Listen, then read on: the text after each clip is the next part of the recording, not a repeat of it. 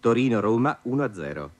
Al Comunale di Torino la Roma è stata sconfitta per una rete a zero nel primo turno dei quarti di finale di Coppa Italia. Entrambe le compagini hanno dato vita ad una piacevole partita. Una ben quadrata Roma, con l'abile regia di Del Sol, ha validamente tenuto testa all'agile 11 torinese. La prima azione della Roma, il tiro conclusivo di Vieri, rimbalza sul montante. Insiste la Roma. Da un suggerimento di Vieri, Cappellini tenta la via della rete con un diagonale che termina sul fondo.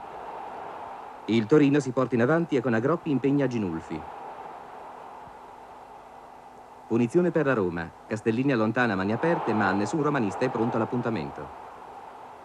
Le azioni scorrono veloci su entrambi i fronti. Allo scadere del tempo, due occasioni mancate da Sala.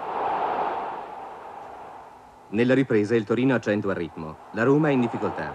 L'azione Sala-Petrini-Pudici viene infranta da una rovesciata di Santarini. Pudici si vede parare da Ginulfi un forte tiro. La rete è di poco rinviata, giunge al quindicesimo. Lunga fuga di Petrini e tiro in diagonale sul quale irrompe Pulici. Torino 1, Roma 0. Su questo nuovo bolide di Pulici che Ginulfi non trattiene, termina praticamente l'incontro.